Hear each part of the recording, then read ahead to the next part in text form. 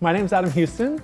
I'm a teacher here at the CAO. Right now I'm helping out with a course called Practice and Development. It's a great opportunity for the kids to take what they've learned and expand it and kind of make it their own. The CAO is a pioneer in looking at principles and philosophies and not just learning algorithms and specific details.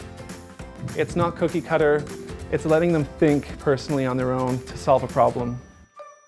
The curriculum at the CAO is extremely in-depth. It's not about just knowing the general aspects of a bone or a muscle. To really understand that bone or that muscle and how to treat it properly, we need that depth of knowledge. Without that, we miss a ton of the information.